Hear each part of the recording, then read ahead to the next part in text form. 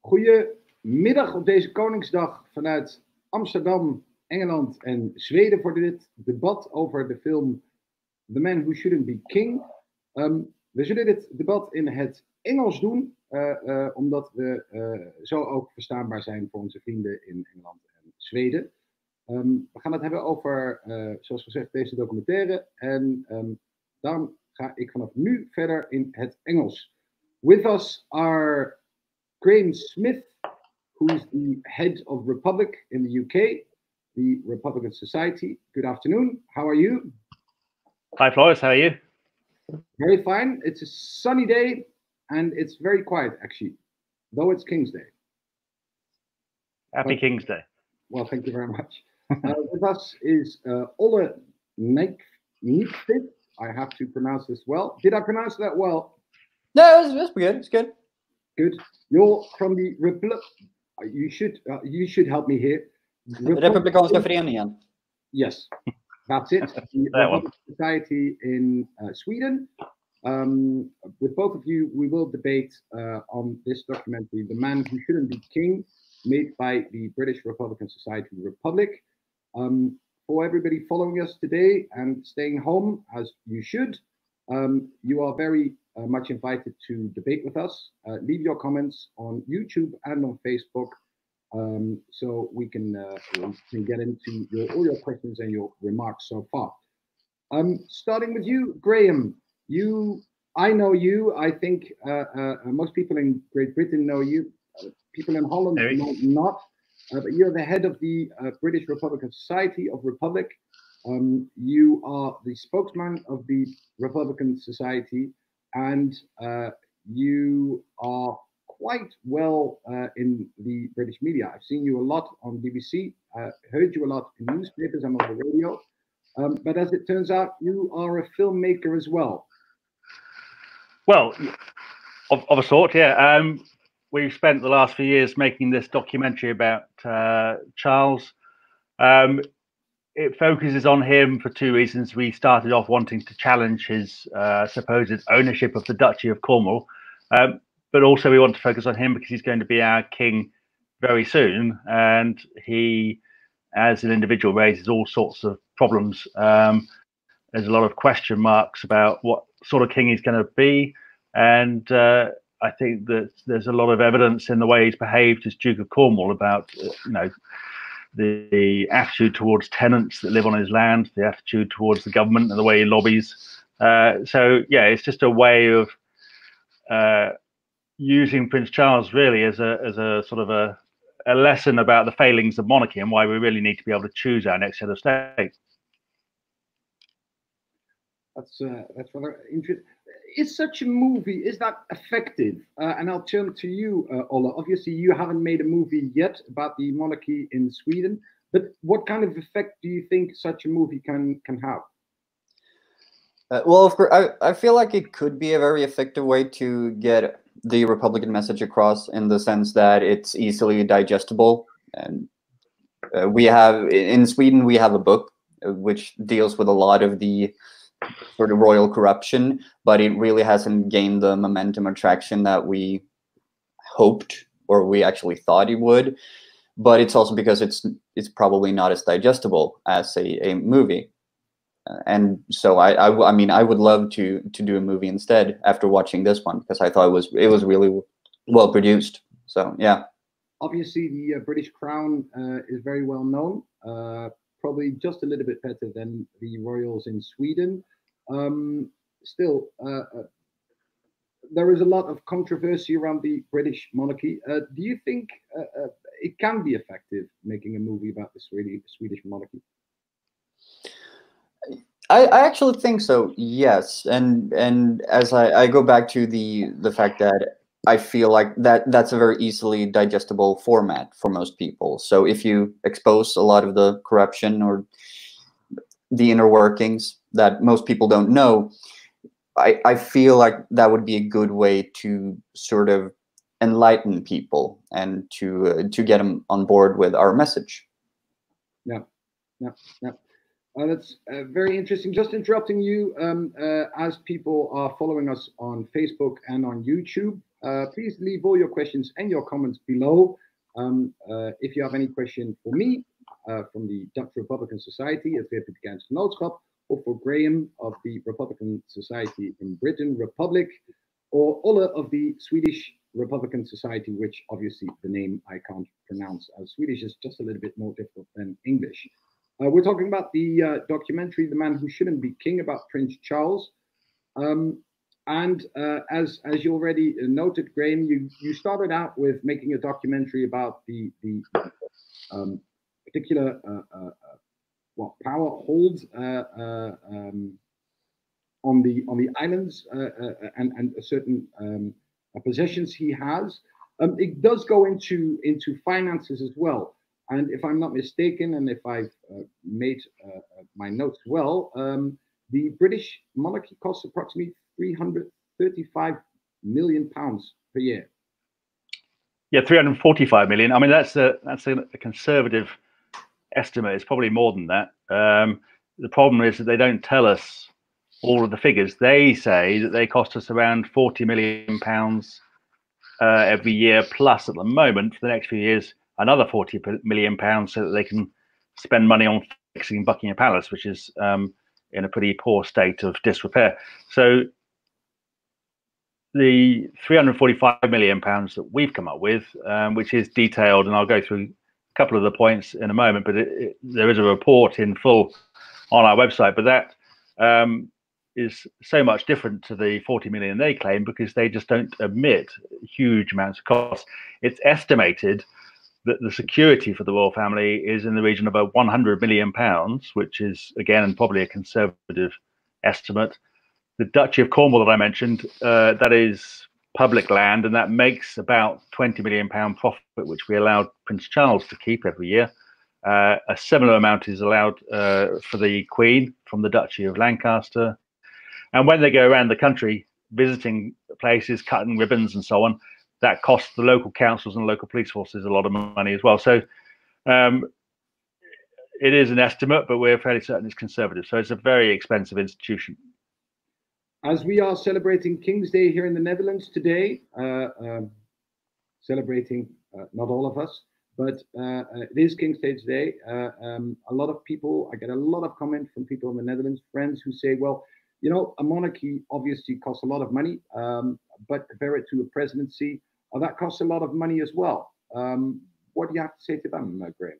Well, you've got to compare like for like. I mean, if you compare, say, the Dutch monarchy with the US presidency, then obviously the US is more expensive, but that's not what we're comparing. You've got to compare it with, say, the German uh, presidency or the Irish presidency, and it is a lot, lot cheaper. Uh, it's certainly cheaper than the British monarchy. Um, but also, it's not, I guess the question is would a Dutch president or a British president be as expensive as a royal. Now, the reason why royals are more expensive is because they can get away with spending money that others wouldn't get away with. Um, I think it's very unlikely that an elected uh, official or an appointed official who is accountable would spend the kind of money that royals do because they would be thrown out of their job. No, no. It's 345 million pounds, uh, uh, according to your estimate, uh, the total cost of the British British monarchy. Um, here in the Netherlands, the Republican Society Against Genootschap made an estimate two years ago saying that the total cost of the monarchy is approximately 350 million euro. So that's rather comparable. Um, yep. How is that for Sweden, Ola? I feel that's comparable uh, if you take into account the like population and whatnot, we estimate that our monarchy costs about somewhere in the vicinity of 115, 120 million euros. And, and of course, this is large, I mean, depends on what kind of assumptions you make when you do the estimate and what you choose to count and not. But I, I feel like that's a comparable sum of money to both the Netherlands and uh, and the UK. So yeah, it, as Graham said, just the security alone costs too much. So, yeah. That's uh, it's it's a lot of money for people joining us right now. I'll be repeating this once in a while. If you join us now via Facebook or uh, on YouTube. Uh, we are speaking in English. There's nothing wrong with your sound. Um, we are debating a movie made by the British Republican Republican of Republic, about uh, Prince Charles. It's called The Man Who Shouldn't Be King. Um, and with us are Graham Republic and Ola of the Swedish Republican Society. If you have any question or comment, uh, please leave them below on YouTube or on Facebook so we can debate about your questions might they arise. Um, we were talking about the finances. You go into the political power as well. As I understood, and as over the last couple of days, again, I have been debating the monarchy a lot. People say, people around me say um, that uh, uh, that they, well, obviously, uh, they cost money. President cost a lot of money, um, but they don't have real power. Um, uh, how about the before we go to the Dutch and the Swedish? Uh, how's that for the British monarchs? Do they have any power, or or has that changed or shifted over the last couple of years? No, I mean, as you probably know, we don't have a written constitution. We've never gone through that moment of uh, huge change where we've written it all down. So it's kind of evolved since the late um, the late 18th century, uh, when of course William of Orange invaded and uh, with the with the acquiescence of the British Parliament, um, and uh, the the upshot of that is that there are two aspects to this question. Firstly, the Queen, in theory, has huge amounts of power, but that is royal prerogative power, which is exercised by government ministers. Now, that is a problem because it's far too much power that is not directly accountable to Parliament, which is not properly scrutinized, um, and it's quite excessive. It makes um, the power of the uh, the government quite um, disproportionate. It's, I would say that the British government is one of the most powerful in terms of domestic policy because of the royal powers that they have access to. On the other hand, the royals themselves and the monarch have power to influence, to interfere, and to um, also to lobby on their own for their own interests. So Prince Charles is the the main or most obvious example of this, which is another reason why we flagged it up as a, a big issue in the film, but a reason why we also uh, have concerns about Charles. So, on the one hand, he will lobby on a whole range of different issues, whether it's the environment or education or health. He can do that in secret. He can do that with um, complete access to government papers, so he knows well in advance what uh, ministers are talking about. Um, and he can write letters that no one can ever know about. Um, and we know from various uh, anecdotal stories over the years that this has had an influence. Um, they can also lobby for their own interests. So they've successfully lobbied to increase the security, the secrecy, uh, and to improve their financial arrangements. So uh, there are a number of different details in the way that that works, but there is a it all is using power that is granted under the royal banner, as it were. So there's prince's consent, queen's consent, and uh, the royal prerogative, and it, it all kind of um, creates these uh, a number of different uh, serious problems. I know that the uh, the, the, Dutch monarchs obviously uh, um, uh, don't have direct power anymore. that was all changed 170 years ago um, when we got a constitution. Um, we now live in the so-called constitutional monarchy. Um, but still, I think what I see in the documentary is that maybe they don't have any direct power comparable by uh, with with the Dutch, but yep. still um, there is a lot of influence. Yeah, I mean, you know, the Queen can't say, right, we will now introduce a new policy on on education, obviously, but um, we know that Prince Charles has lobbied uh, on all these issues and has been successful in various cases. Now, of course, we have a devolved uh, government in Scotland, and we know that um, we know what Prince Charles's views are on education. He set up a charity to promote those views, and then we know that the uh, Scottish government under Alex Salmond adopted policies which are in line with those views, and we know that Prince Charles lobbies the Scottish government as he does with the British government. So um, we also know that homeopathy and other forms of alternative medicine have been available on the National Health Service, uh, despite the fact that everybody in the National Health Service, more or less, thinks that this is a waste of public uh, money. Now, whatever you think of homeopathy or alternative medicine, the NHS in this country should be run based on what the doctors uh, advice and not what Prince Charles thinks. And and yet uh, it's been said by one of the leading experts on homeopathy, uh, a scientist called Edzard Ernst, um, who has researched this, that one of the reasons why homeopathy remains uh, available or ha has done, I think it's now being uh, phased out, um, is because of royal interference. So, and the Queen, I believe, as well as Charles, have, have used alternative medicines. So we know that there is a an element of very direct in, in, interference and influence, which has an impact on government policy. But you say uh, uh, interference. Uh, you talk about, well, I myself mentioned influence. Uh, they have influence, but does that uh, um, does the does the movie show that their particular influence uh, actually affects policy? Can you say that well, policy has changed because of the influence of the king or or, or, or the queen?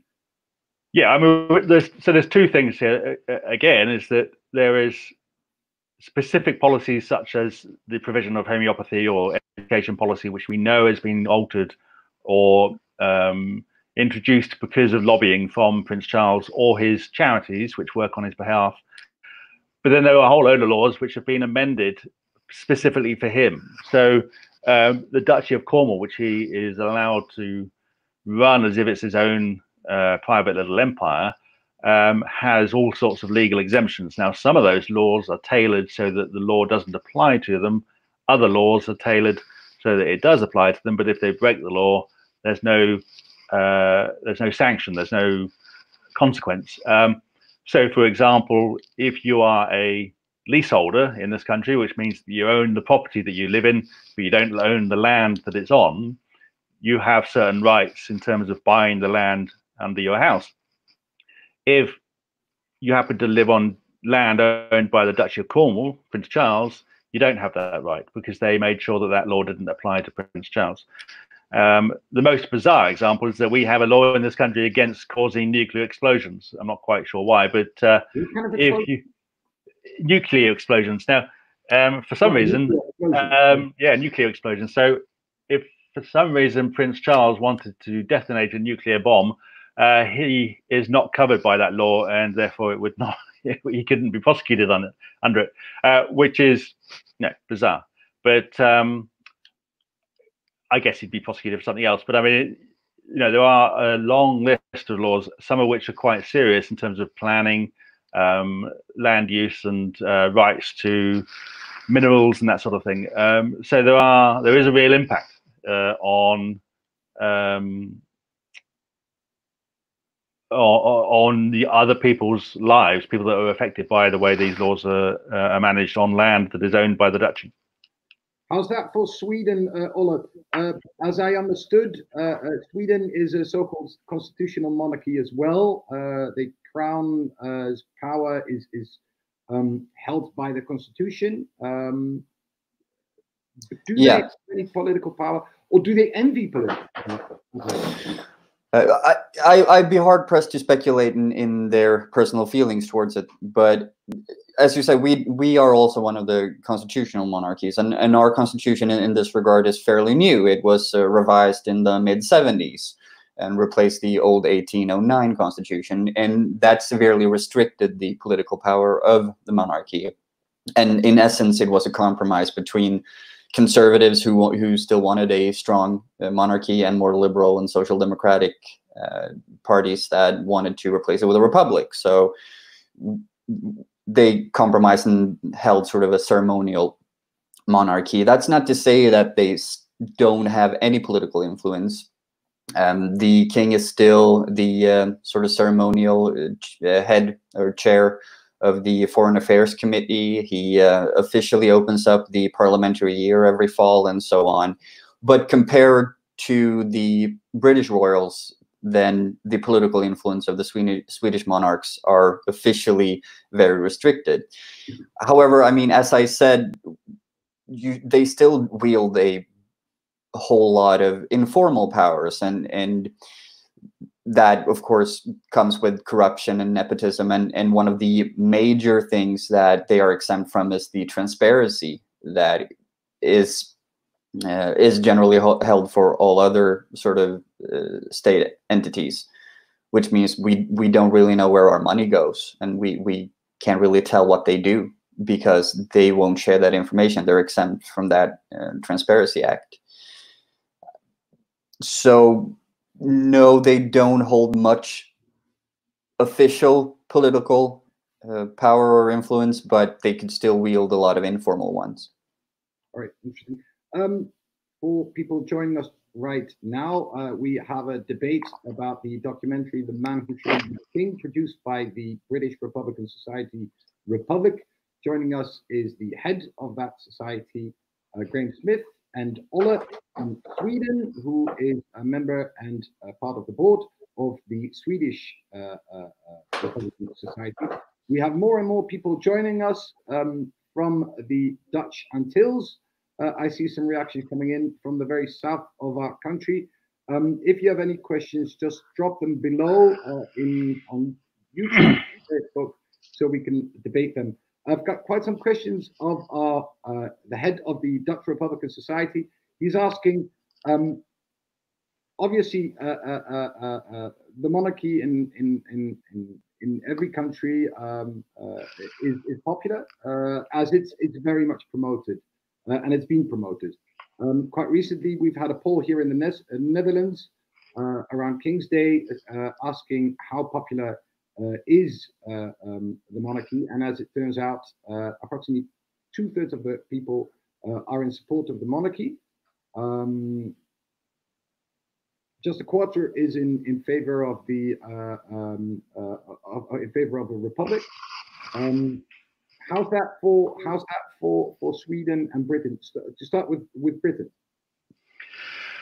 Well, the it's a more complicated picture, and it's worth doing some uh, polling of your own because it, sometimes the questions, different questions, can they won't change the headline figure, but they can sort of reveal some interesting detail. So it's broadly speaking, 75% of the British population want to keep the monarchy, and it's roughly 20% that want to get rid of it.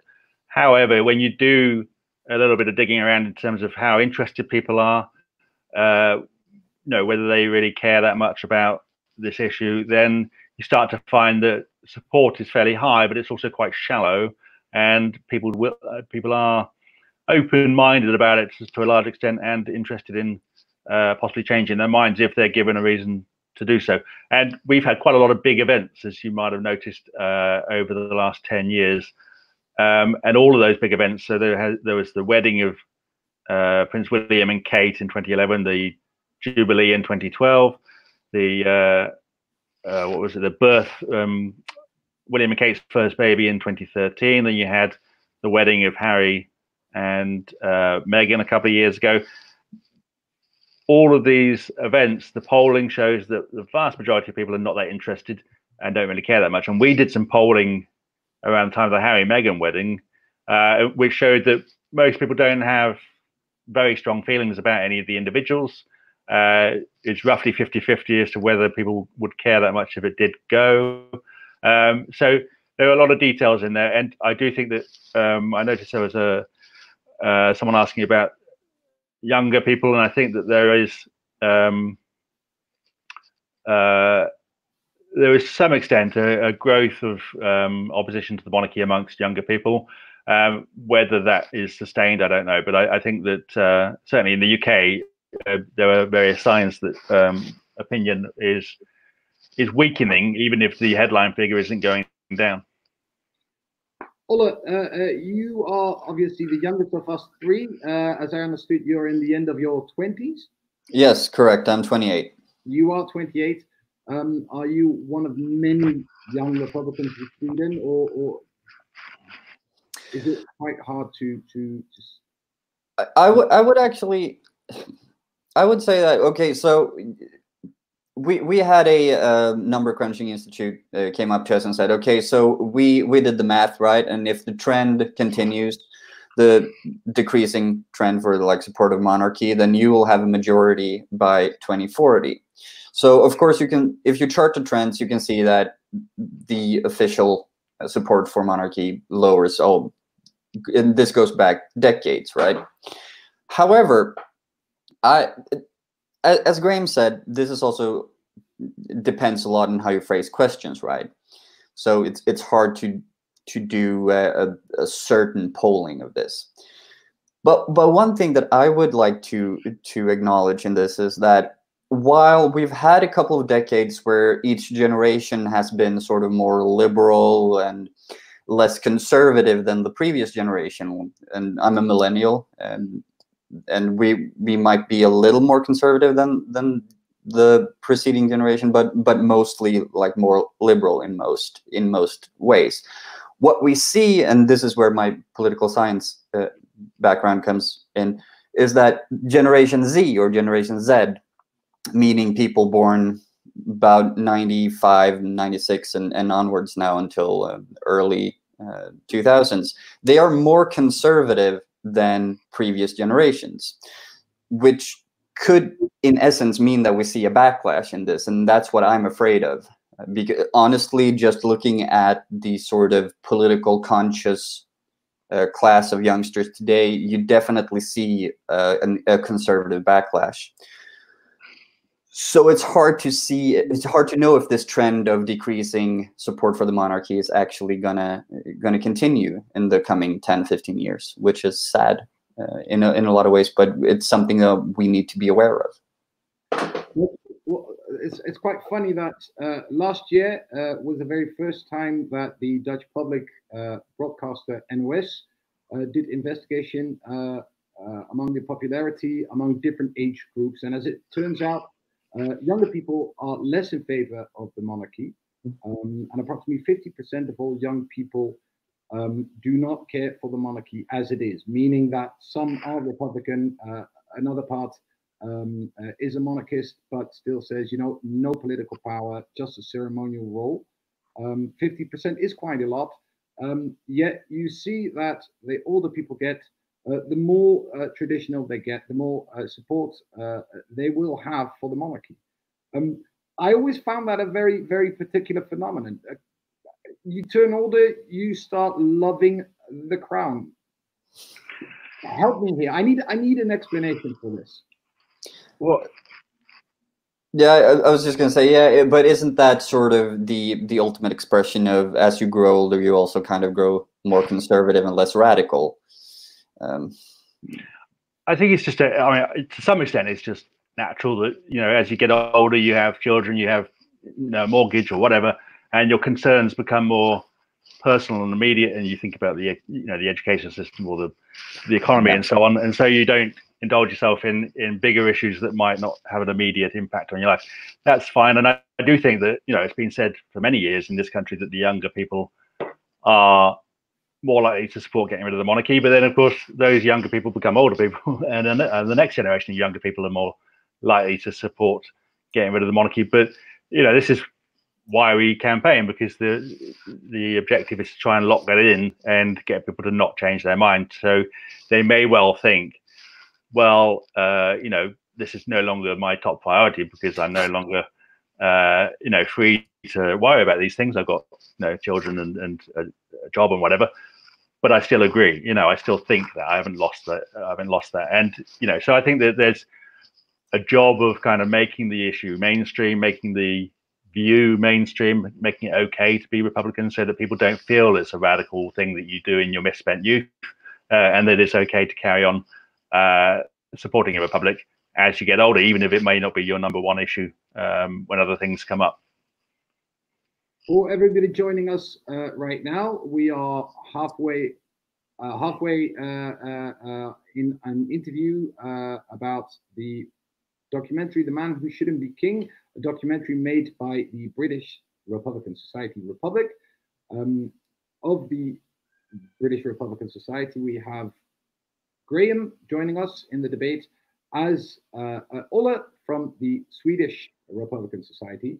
Um, we are debating the documentary, as said, but we are debating the monarchy and the favor of the monarchy as well. Um, to see if there is a comparison between the uh, different uh, countries in Europe that have a monarchy. Um, we were just debating uh, the fact that younger people tend, as polls show in the Netherlands, tend to be less in favor of the monarchy. Um, I still, I still have a point there, um, because Olle, you said, well, as you grow old, you know, you lose more of your progressive uh, image, and then uh, younger people tend to become more conservative as they grow up. Uh, but still, I think being in favor of a republic uh, or a monarchy is something very principled. You don't you don't throw that overboard as you grow old. No, but I feel like I, Graham had an excellent point there about this is not something that really affects you in your in your daily life. You you start worrying about schools and stuff like that for you for your children. So it it might be that it the issue takes a back seat to other more pressing issues for you and your your radical side becomes a little more moderated. I think yeah if i could just jump in very quickly Floris, i mean the, the other thing is that this is why it's so important to make it a a material problem that needs to be fixed as well because people will, who might just on principle think, well, you know, this is something which definitely needs to change, and I can put some energy into this when I've got more time uh, in my twenties. Um, but if you if you're saying, well, this is a real problem, it needs to be fixed, uh, and you know, there's all sorts of areas, whether it's misuse of money or constitution or whatever, uh, then you're going to hold on to some of those uh, supporters. And going back to what was said about um, people being more conservative, uh, we have lots of conservative supporters, and we we try and embrace that as well because we, um, uh, you know, we know that we need people to see this as an issue that isn't attached to, you know, the radical young or to the left or whatever. You know, it has to be something which anybody can get on board with. Um, and I just the other day did a uh, podcast which is now live with Julia Hartley Brewer, who's quite a a well known radio presenter and journalist in this country, known for supporting Brexit and known for supporting this government, uh, the, the, Conservative government, and so on. Um, but she's absolutely uh, 100% a Republican. So that's a useful voice to get out there and say, well, you know, this is not something which is uh, confined to the young or to the left. We are uh, still in this debate. Uh, uh, for might you join in or, or have just joined in. Um, if you have any question for Graham of the Republic Society in Great Britain or Olle from the Republican Society in Sweden, uh, just leave your comments down below. I see one coming right now. Um, today is quite a warm day. Um, uh, uh, let me go before we go to Hans Maser, who has uh, uh, asked us a question. It's quite a warm day. Um, uh, originally, we had King's Day planned, um, the celebration of the birthday of the king in the Netherlands uh, out of the corona crisis. Uh, we can't, uh, and we're debating at home online uh, uh, uh, about the, the, failure of the monarchy and need to get to a republic. Um, Hans Maser mentioned a little bit earlier in the comments that um, obviously King's Day um, is being used as a promotional tool. The royal family um, uh, travels through the country every year, visits one or, or, or more cities to promote themselves, promote the institution, um, and the whole thing is very much televised uh, and and and used to to um, explain how wonderful and normal these people are. Um, how's that for for Sweden? Do you have a King's Day? Do you have any other national celebration around the King? Uh, well, not not in in such. We like uh, April uh, uh, thirtieth is our uh, king's birthday, and and we we celebrate that, but it's not because of the king. We we have Walpurgis then, so that's an old tradition. but I would say the most eye-catching of these sort of propaganda things that you you mentioned is that e at the end of each year our public service uh, television uh, corporation uh, they televise a uh, they a sort of program called the year of the royals where they basically have this production where they follow the royals for for the entire year and like this is what they did oh look how great that was and how cozy. It, it's really just a, a star portrait of a royal family, and that happens every year towards uh, end of December. Yeah. Um, interesting thing is if you look at uh, uh, how the monarchs uh, in the Netherlands are portrayed, um, it's very much about the person. It's very much about Maxima, the, the, the, the queen. It's about Willem Alexander. It's about children. Um, thus, uh, creating some kind of uh, cloud around the monarchy. Um, not talking about the monarchy itself, but rather uh, about these people, um, uh, making any further discussion uh, rather impossible because um, if you are if you are not in favor of the monarchy, you're basically saying I don't like these people. Is is that the case in Britain as well? Well, I mean, to some extent, I think that um, we have a lot of this nonsense uh, royal reporting, lots of stupid uh, documentaries that you know done by journalists, but there's no journalistic uh, merit or integrity to them. It's just puff pieces to promote them, and um, it's all very dishonest. But our media, I think, uh, has, has, a curious relationship with our royals. They like to go along with it, uh, particularly our broadcasters. But the press are quite happy to have a go when um, when they think it'll sell papers. Um, and I think that in the past, uh, it's certainly been a lot more difficult to criticize uh, individual royals or even the monarchy because it was tied up with these two issues. And this is why we've always, as long as I've been involved in the Republic, I've always made a point of criticizing the royals, uh, so long as it's fair, um, so long as it's on the in the same sort of by the same measure that we might criticize a politician, because you have to get people used to the idea that they, that they are fair game. You know, the, the shock value wears off, and people start to get used to the fact that okay, there are these people that that make legitimate criticisms. and As long as it is legitimate and not personal, uh, then it's fine. Um, now, sometimes you know you may have seen that the Queen delivered a message uh, to the British people a couple of weeks ago uh, regarding the coronavirus. It was a pretty dire message, but uh, the um, the coverage around it was fawning and you know it's all oh well you know it wasn't this wonderful and a politician couldn't possibly have made this kind of message um, despite the fact that it was harking back to the war when a politician was making lots lots of much better uh, speeches but um, I tweeted just a few minutes beforehand uh, before it went live saying um, from the Republic account saying you know the Queen is a public figure like anyone else and she should be held to the same sort of standards as politicians held accountable and so on um, that had a very large positive reaction, but also a very large negative one, including a, a well-known journalist, Piers uh, Morgan, who retweeted it and swore at us for daring to criticize. Well, it wasn't even a criticism, to be honest. It was just a point about the fact that she is, uh, as much as anyone, open to criticism and uh, scrutiny. So, yeah, can you I, get a. You get, can I paraphrase and basically say that um, uh, uh, media say any uh, a criticism against the monarchy, they say, well, that's that's a personal attack, and you shouldn't be doing that because these people can. Not necessarily. No, I mean, it, it, depends on what it is you're saying and who it is you're talking about. The Queen, more so. I think if you if you criticise the Queen, people um, are not keen on that. But if you criticise Prince Charles, um, then that's that. These days, that's a lot more acceptable, and that, part of that is because our press is a lot more. Um, well, I don't know whether it's more uh, robust than other press, but I mean, it's certainly very happy to go on the attack against people like Charles if there's a story.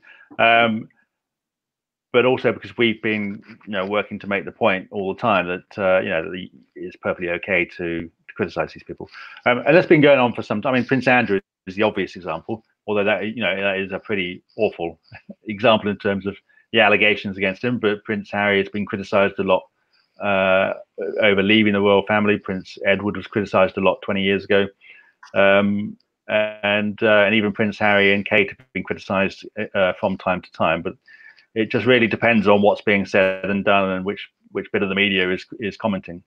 Yeah. If you have just joined in, we are debating uh, the documentary "The Man Who Shouldn't Be King" with the head of the British Republican Society, Graham Smith. Uh, with us as well is Olle Nykvist, who is uh, a member and board member of the Swedish Republican Society. Um, Republic has just quite recently launched this documentary. Um, if people haven't seen this yet, it's out on YouTube. Uh, I believe that we will uh, already have uh, uh, leave a link in this debate. So if people haven't seen it, go and see it. Um, I do have a question though. Um, as the Dutch Republican Society, obviously the, the British are not supported by the government. Um, though you have a political uh, view, uh, you don't get any subsidies from the state in what you do. So your your your funding is limited. But still make a movie that's quite an expensive project. I I, I would I would presume. Uh, why make a movie? Well, we raised money for it uh, specifically, and um, one of the reasons is that if you do a project like that, it's much easier to raise money, which then also um, covers uh, other costs as well. Helps us to the sort of it becomes a vehicle for the for the wider campaign. But ultimately, there's you know there isn't a film like it, so you know we get the opportunity to say you know to decide what gets said, uh, who gets interviewed, um, and it does help people to see to, to sort of hear the message uh, much more clearly than it might do if they just caught us for for a minute on the national news. So um, it's a number of reasons for making the movie. I suppose is one, it helps to give us a vehicle for for saying more about the campaign. It does actually help us to fundraise, um, but also then it helps to uh, give people an opportunity to find out more without um, without having to sort of catch us on the news or or come to an event. And that movie now is, of course, uh, available on our YouTube channel, so people can watch it, um, and we'll be watching it for for many months years to come. Graham, who, had, who do you focus on? Are these uh, your members, just showing them, you know, this is what we came up with, or would you like to reach out to a broader public, maybe informing them? no, yeah, absolutely, broader public. So I mean, it, it, as well as our membership. So obviously, it does help to galvanise an interest in our membership. Um, a lot of them have probably heard the issues before, but uh, for a lot of people, who haven't engaged with the public before, a lot of these issues will be new and they won't necessarily understand that Prince Charles does all this kind of thing or how much it costs or whatever. Um, and a lot of the, a lot of people are told by the media that the Duchy of Cornwall, for example, is a private estate that belongs personally to Prince Charles, which isn't true. So it, it, sort of gives people a fresh perspective. The original plan was to hold a number of screenings up and down the country, um, and we managed to do, I think, three of those at the beginning of this year before the lockdown kicked in. So we had to cancel all that and uh, instead put it on YouTube and promoted it through that. And um, we, we, will uh, be promoting it further through the media as well. But uh, obviously, the the virus and the lockdown and everything else has disrupted that a bit. But it, you know, it's it's, it's over ten thousand views, and it, it, we, we will be doing more to promote it um, to get that number far higher. So I think it's it's I guess for most of the time, if people want to find out about it, they either have to read a book or uh, read our website, and they might catch a few bits on YouTube or, or wherever. Um, and this is a, an opportunity to showcase the whole argument, but to frame it around the person who's going to be the next king. Yeah. Uh, one might say that you are a, Repu- a Republican uh, talking about the monarchy. Um, this is not really objective. Uh, uh obviously, you will portray uh, uh, Charles um, as somebody who is is is, is doing wrong, and and you should get uh, uh, whole rid of the whole idea of, of monarchy as soon as possible. Um, what would you say to them? Uh, obviously, you have a certain standpoint in this. Yes, and I, I don't. You know, we, we make no claim to objectivity. What we do make a claim to is accuracy, and you know, it. Uh, a lot of these things are misrepresented in the mainstream media. Um, and our film is very clearly a Republican film. It's very clearly made by us.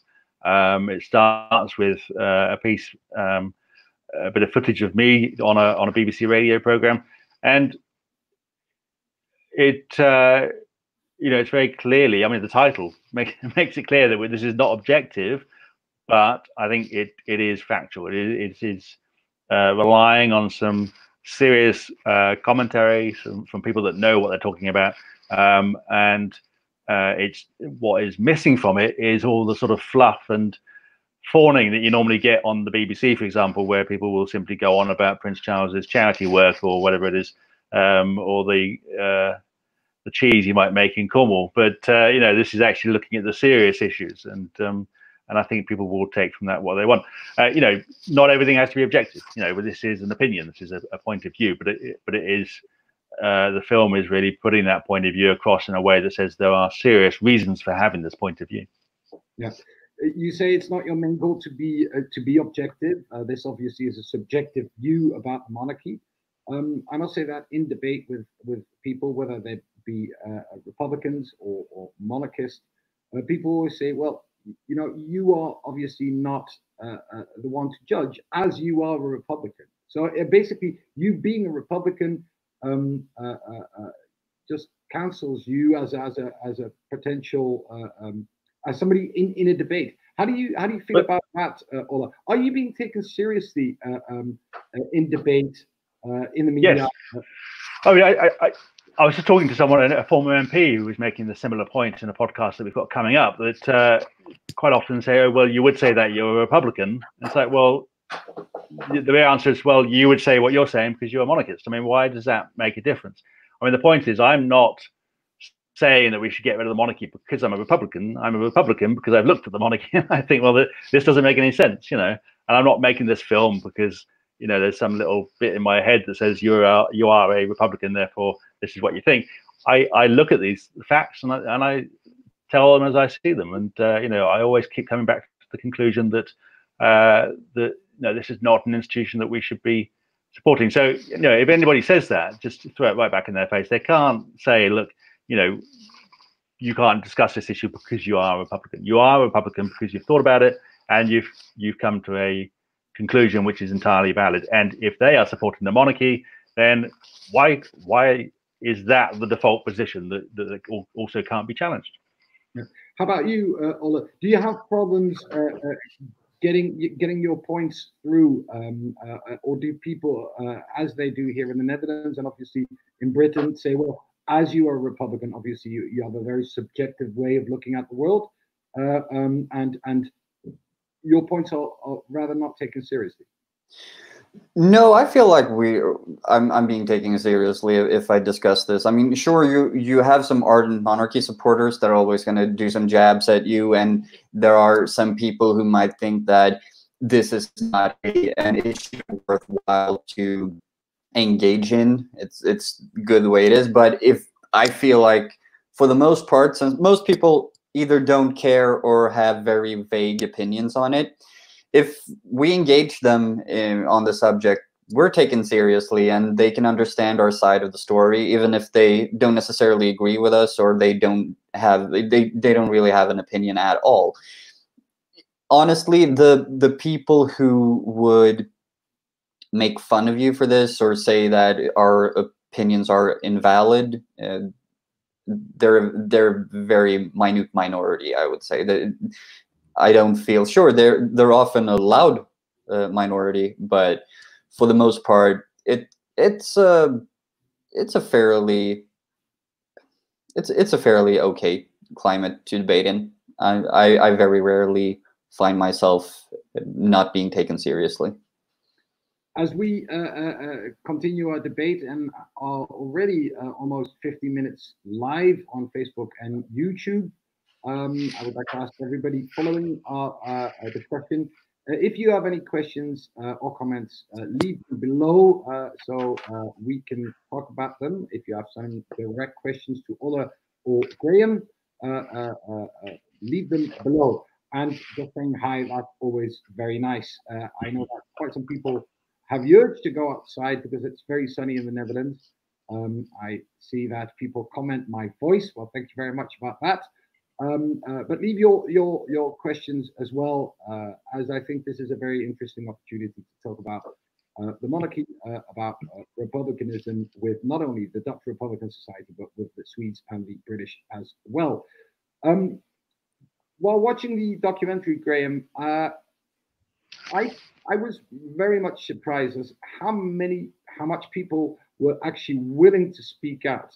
Whereas uh, I, I, believe that a lot of people here in the Netherlands believe that once you speak out against monarchy or, or reveal something, um, you know, uh, the, this will, will will lower your chances getting a great job or lower your chances doing anything.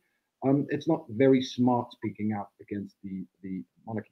did you have did you have any did you while making this uh, did you have any any uh, serious uh, backstand? Did you have have people working against you uh, not to come out? Well, I mean, there were certainly people that we asked to contribute to the film who declined, um, particularly who you know ordinary people who happened to be uh, living on Duchy land, um, and this was commented on in the film that uh, people are are scared of the duchy specifically. So um, they don't, if they're living on their land, they don't want to uh, cause any trouble. There were some politicians we asked that uh, that declined, even though they might have had something uh, useful to say. Um, so there is an element of that, but I think there are plenty of people these days, more than there were maybe 30 years ago, um, who are quite happy to to speak up. So yeah, there, there is still an issue. I don't know whether I don't know what people's worries are. I suppose they might still worry about jobs and so on. I mean, there have been people in the past that have got themselves into hot water. Uh, there's a DJ, I think, back at the time of the royal wedding in 2011 that got into hot water about making some comments. There's uh, a comedian that made a rather rude comment about the Queen. Uh, he got got into uh, a lot of trouble, and um, even the Church of England uh, vicar, I think he was in London, that got into some trouble. But um, but on the whole, you know, there are enough people that are willing to speak out. But um, it, again, it's, it's the challenge to make it mainstream so that people feel able to to talk about it. Um, this used to be the case in Australia, for example. It's worth um, uh, looking at that example where back in the 80s, you know, you might have had a similar reaction because of the, the Labour government in the 90s uh, pushing and then getting a referendum, you know, everything changed, and now it's uh, it's much easier to be a Republican than a monarchist in Australia. So um, it's it's kind of reversed. So um, yeah, I, th- I, think there there are issues in terms of whether anybody actually tried to stop us from making it. No, not really. But I mean, the, the Duchy of Cornwall uh, became aware that we were doing it, and they phoned us fairly quickly and tried to find out what we were up to. Um, what did they say? You're well, making a movie. Don't do that. Yeah, well, we tried. We were on the Scilly Isles, which are uh, just off the uh, west coast of Cornwall, um, and we contacted the local representative of the duchy, asking for an interview because a lot of people on the Scilly Isles who are tenants of the duchy were complaining about the way they're treated, and uh, we got through to the this local sheriff's uh, representative or secretary or whatever, and they said, "Oh, you know, we'll take your message." And an hour later, someone in London uh, that phoned us saying, uh, you know, what are you doing, and can we find out more about the film you're making? And then they just simply tried to um, tell us that everything is happy and rosy, and you know the duchy have a great relationship with their tenants, and and uh, their representative wasn't going to do interviews. Um, I think they even claimed that they never do interviews, even though we'd seen uh, such an interview on uh, online. So um, yeah, they they were just very wary of what we were doing, and I'm sure that uh, whether they've, I'm sure they have watched the film to see, see whether there's anything you haven't libelous. any proactive uh, uh, uh, uh counter uh, um, measures of the crown of anybody who's in favor of crown in Britain of you making a movie. No, no, no, not at all. I mean, I, I think that if we are successful in getting getting it a much higher profile, then you may find a reaction, but. Um, you know, again, it's a film that is, you know, yes, it comes from a, a Republican perspective, but it's it's based in fact. You know, it's accurate. Uh, it would be hard to really do anything that uh, that might um, that might challenge it. And I think the royals themselves would be very, very reluctant to do anything in terms of any legal challenge because that would ensure overnight that uh, everybody knows about us and, and our membership would uh, rocket, uh, you know, through the roof if they did that. Yeah. Um, while we debate, questions come in. Uh, I even have people texting me um, for me and us to react. Uh, please leave your comments below on Facebook and YouTube. Um, we've got one question um, as to, you know, we are debating republicanism. We are debating uh, the monarchy in uh, Sweden and Great Britain and Holland. Um, Thomas Jolens is saying, you know, uh, uh, you can't compare these countries. Obviously, uh, the monarchy is a little bit different, as I understood from his question, and um, there is no, there's no, it has no sense of of actually comparing them. Uh, as we all are, are gathered in the Association of European Republican Movements, the AERM, of which the logo is just uh, to do that is just in that right corner of your screen. Um, how about that? How about that? Is do do the different monarchies? Um, uh, is there is there such a major difference between them? Oliver. Uh, yeah, sure. I, I feel like they're uh, just seeing this movie. I feel like there's um, there's a big difference in the sense that while the Swedish monarchy disposed of a lot of land and, and whatnot, they they do not wield this power to my knowledge. I'd, I'd be hard pressed to find an example where they have tenants in in this way or it, it wouldn't surprise me uh, but i i can't really come up with an example of uh, just relating to thomas's question here if some something comparable to cornwall or lancaster that i i would find. So and and just as graham said the UK doesn't have a, a formal constitution. We we actually have a formal constitution which put which puts limits on our uh, monarchs in what they can say, what they can do, and and the power they the formal power that they wield. So in that sense, the monarchies are very different. In some other ways, they're comparable, and as we talked about, the costs are comparable. The uh, just the idea of monarchy in and of itself from a democratic standpoint that those are comparable across the board because they're, they're of course the same fundamental question right? And so in some ways they differ in some ways i would find them comparable. It, it it's hard to say one way or the other or another just straight up. it has enough comparison uh, uh, as to work together in a more european perspective. Sorry was that one could say uh, it has uh, uh, enough comparison uh, to to work together in a European. Oh yeah, absolutely. I mean, we we work together on this issue because we find that it overlaps so to the extent that we we can still uh, find each other's experiences uh, something that we can learn from. Absolutely. Yeah.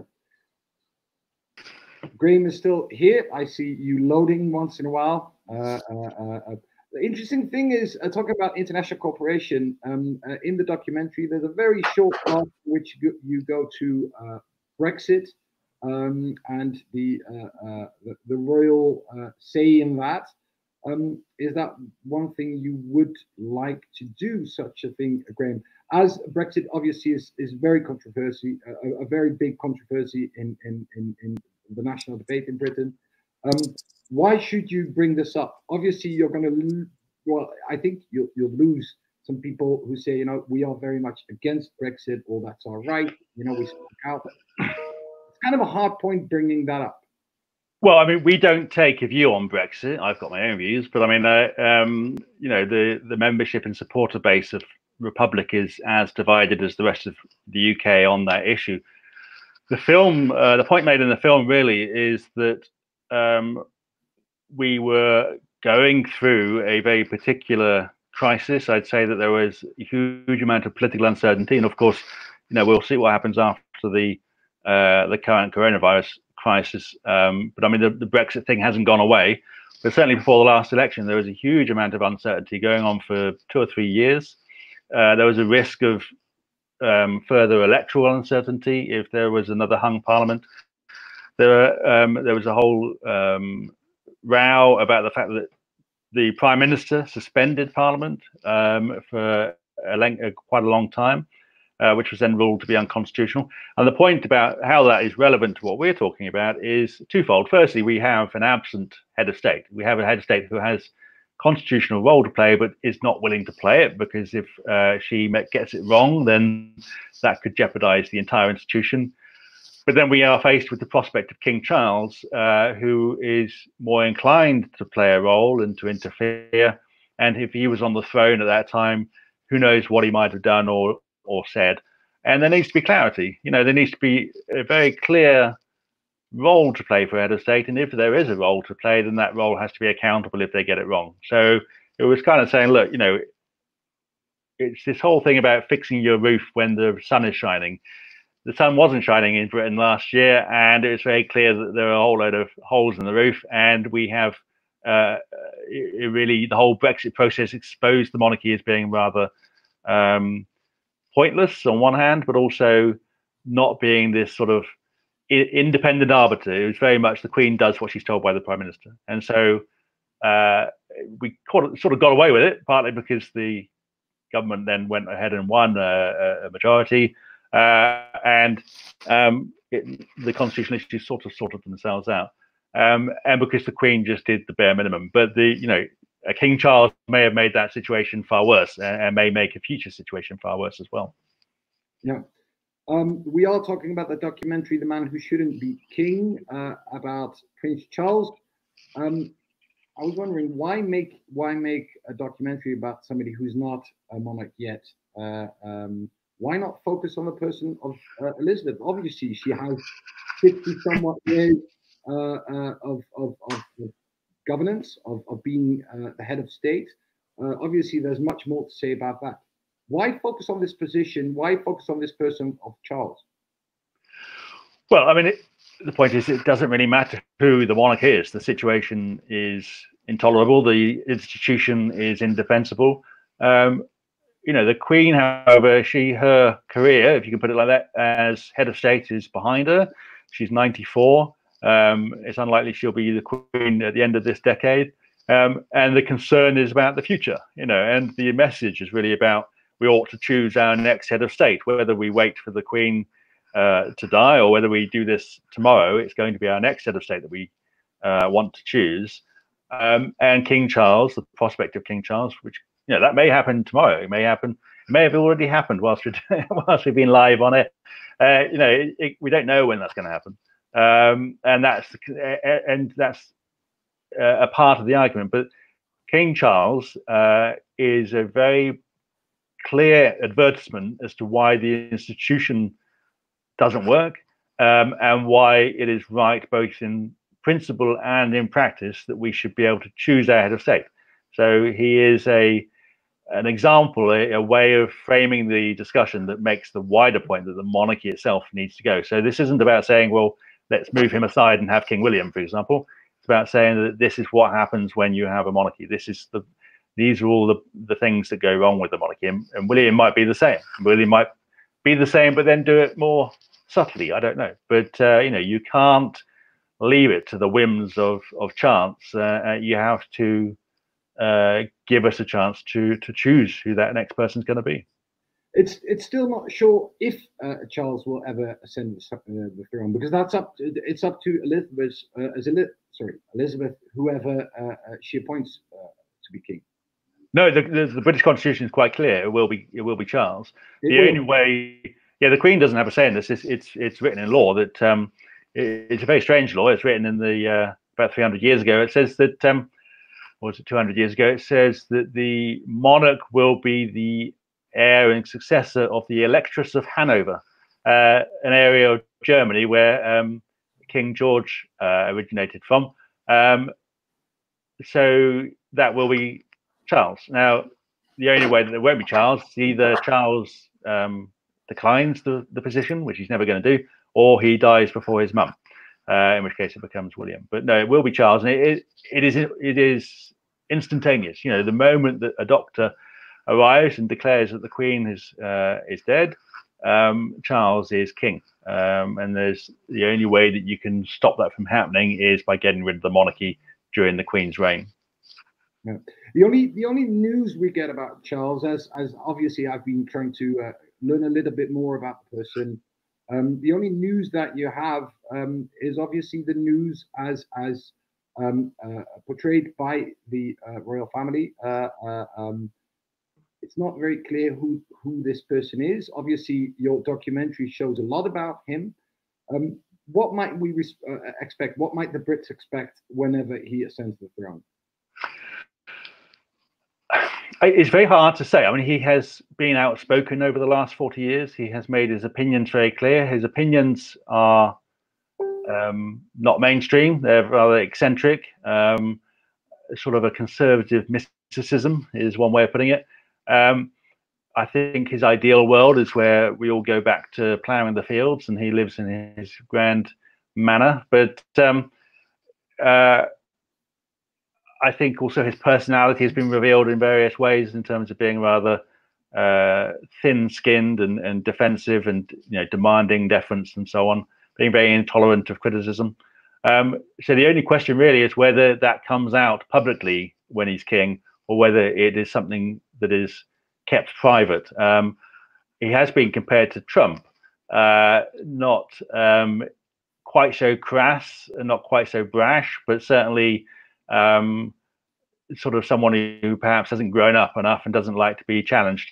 Um, so yeah, it depends on whether people around him can keep him quiet. But even if he's kept quiet, then you have questions about what he's doing in uh, behind closed doors. And we face a very real danger where a government that is in power at the time that he becomes king has a particular policy, and then two years later decides to change that policy, and all of a sudden that policy is in line with what Prince Charles has been talking about over the last 40 years.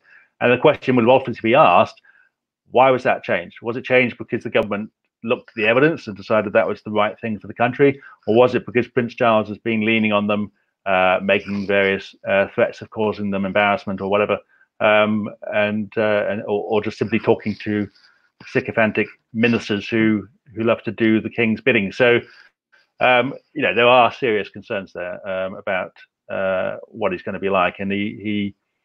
Um, he's not someone to be trusted to do the role in any you know sort of appropriate manner. Yeah. Um, we just uh, quite uh, a couple of questions ago we discussed uh, Brexit.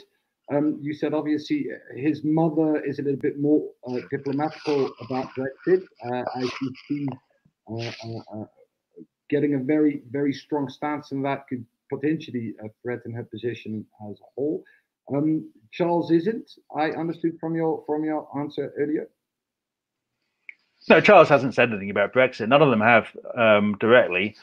They they know you know they, they don't get involved in the most controversial issues very often. It's their own pet issues. Um, and this is quite telling, though. I mean, you know, Prince Charles's lobbying has been revealed over the years, uh, on and off, but it's always his own agenda. It's not the issues that are most pressing for the country. So he, he never wavers from what he's interested in. Um, and I don't know that Brexit will make a lot of difference for them. Personally, um, I suppose they have an opinion, but I don't suppose it's uh, particularly well thought out or uh, informed. Um, the Queen has made interventions on these issues from time to time, but they're very, very carefully worded, um, and they are on the advice of the government. So, um, famously, a few days before the Scottish referendum in 2014, she made a comment about everyone having to think very carefully about what they decide, and this is taken as a cue to vote for uh, remaining as part of the UK, and that uh, certainly upset a lot of people in Scotland. Um, and there have been similar comments over the years, but uh, they try and avoid the most controversial issues. We are still debating. We are uh, one hour and seven minutes on our way uh, in this first, uh, basic first internet debate among Republicans in Europe. Um, uh, thank you for your comment, Liddy. Uh, uh, as comments go in and come in, we would like to use this opportunity to to answer any question might you have had about the monarchy, about this documentary, um, or about republicanism. Um, as I saw the documentary, and I now have seen it twice, I must say that um, this really pictures a rather grim image of the monarchy. Um, one would expect uh, uh, uh, with such a documentary coming out, um, the monarchy uh, in the first place? Uh, as as uh, Charles has a very strong, or, or, has his he uses his power. Um, it costs a lot of money to maintain the system. Um, do you expect after this movie comes out, more and more people joining in, Graham? Yeah, I mean, I, I, suppose that's the that's the purpose of it, really, and I think it I think it is persuasive. I think people have watched it and um, thought very clearly, well, okay, this isn't what I thought the the monarchy was all about. You know, they they most people in Britain don't know what the monarchy is about, and they don't know the details of, of things like the duchy. And I'd say if I just I know we're running out of time, but uh, this book has just come out by Norman Baker, um, for, who is a former MP, and he's been saying the same thing to me recently that you know people that read it that aren't necessarily Republicans are persuaded fairly quickly that uh, this is a problem uh, because they they read for the first time some of these awful details about the the corruption, the misuse of money, the abuse of power, and so on. So um, it's uh, you know the big challenge for us, and also an opportunity for us as as campaigners, is to get the facts and the arguments in front of people. And I think that people are very open to persuasion once they see uh, how bad the monarchy actually is. One could say that uh, whereas republicanism is very much something uh, about argument, about uh, reasonable argument, whereas uh, supporters of the monarchy uh, tend to lean more towards emotion. You know, it's always been there. It's historic. It's culture. Um, it defines who we are. Um, does a movie like this shouldn't shouldn't it rather instead of being very uh, argumental and very factual, or being the emotion? Well, I think it. I think it does touch on that as well. I mean, it, there are there are emotional arguments. Uh, you know, the principled argument, um, but people get angry about misuse of power. They get angry about misuse of uh, taxpayers' money. Um, so you know, I think it it generates that emotion as well. So, uh, but you know, the, there there needs to be two sides of the argument. It can't simply be facts without the emotion. It can't be emotion without the facts. And I think that we try to um, to to tackle both of those in the in the film. Yeah. One of the very last questions uh, I have is um, I found the title rather peculiar. You are uh, Republican Society of Great Britain, um, uh, uh, and you question yourself whether he should be king or not. Is that basically is that something you'd like to debate? Are you not in favor of just abolishing the whole thing uh, as it is instead of just debating whether he's, he he ought to be a good king or not? Well, the point is, is that uh, arguing about whether Charles is king is a way of saying that the monarchy should be abolished.